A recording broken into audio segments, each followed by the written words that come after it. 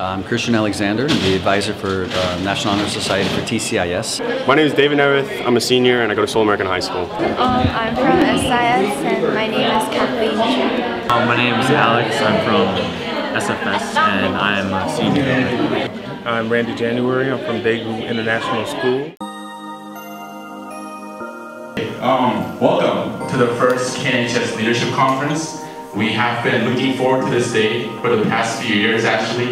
A day where like near 200 NHS members and advisors all over Korea gather. A day where um, we can set a firm foundation for future KNHS generations and where we can truly foster leadership within ourselves.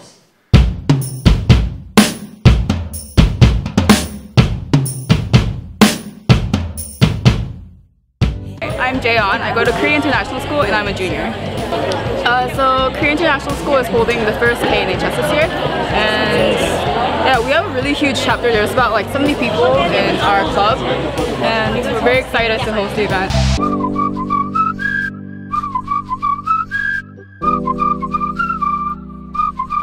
Good morning. My name is Peter Chung. Um, I'm just going to briefly share an understanding of what leadership is. I don't think, I can't think of a better job in the world. But my job is working with people, just serving them, and I love it.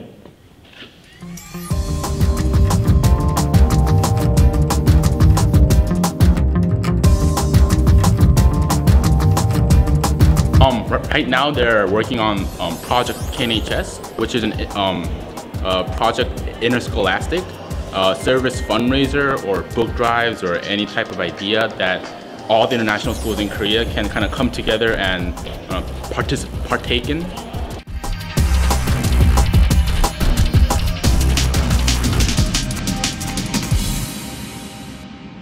Personally, I, I want this to continue throughout the throughout the years. You know, for this to be a firm foundation for future KNHS generations, I guess, after we all graduate. And hopefully this can continue on annually as an annual conference in September.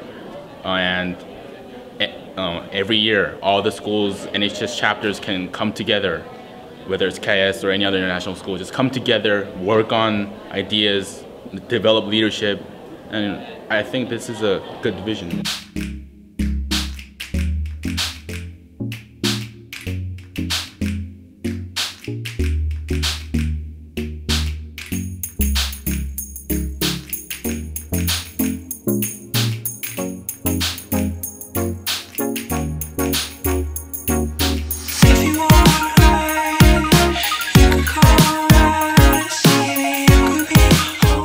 So far, I've been having a lot of fun meeting new people from NHS and interacting with, uh, with people from different schools. And just overall, so far, good experience being with other NHS people.